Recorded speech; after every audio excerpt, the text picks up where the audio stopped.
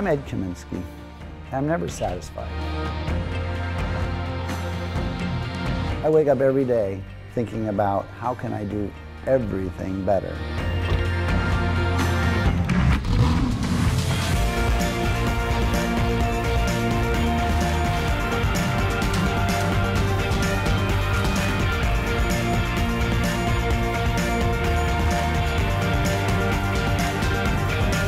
It's pretty clear for those around me that I am passionate about reaching my true potential.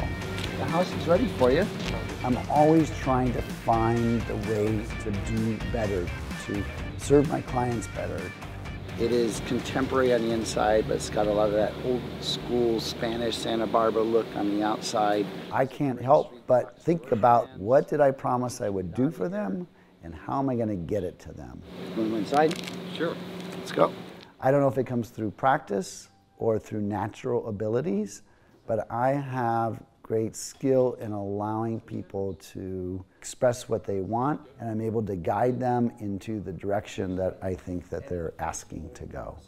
He's also amazingly able to tell you something you might not want to hear, to tell you something the way it is really. He has this magical way of talking to people in a way that's the truth and it doesn't hurt. He knows the pulse of the market and he knows how to handle expectations and handle situations that came up. They always do when you're selling a home. When you hire Ed, you get a team. You don't just get Ed. And you get a team of friendly, very experienced, very capable people. I think being a great leader is being able to bring a team together and to work hard together and to really deliver the passion and the skills for our client base. My biggest word of advice, take responsibility for anything going on in your life, your situation, but don't allow it to make you feel bad. Allow it to make you feel good. If you can figure out how to do that every day, that's where your power is going to come from. I hear stories that people see a vision of Ed, of, of this highly successful person sitting up on some pedestal. But when people meet me really and get to work with me, they quickly understand I'm pretty calm. I am a fire inside in what I'm doing for them, but I am a quiet, calm, collected person who listens. I would say if I could improve anything, I would be able to be truly satisfied by meeting all my clients' goals and my personal business goals and truly satisfied with the amount of time I spend with myself or my family or my children or my grandchildren. I'm married to my wife Cindy, 25 years this year.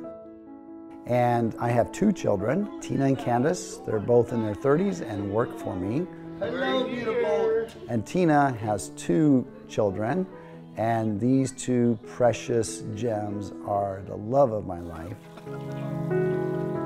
But I get down and get dirty with them and play with them. I would say my family strengthens me because of their need for me to be strong for them. Life's tough out there, so they know I am the rock of the family and that they can count on me to be their support system and help them through their own personal challenges. I used to kind of follow what my dad would do. When I graduated high school, he happened to be in so-called jewelry business. And so I came out to Southern California, Santa Monica, to attend the Gemological Institute of America. Seven years into the jewelry business, I wanted something more. And I just felt there was more within me, there was more that I could do. And I discovered real estate, took my real estate exam. I, I put my toe in the water. And after selling my first home, I said, I can do this. And I quit my job.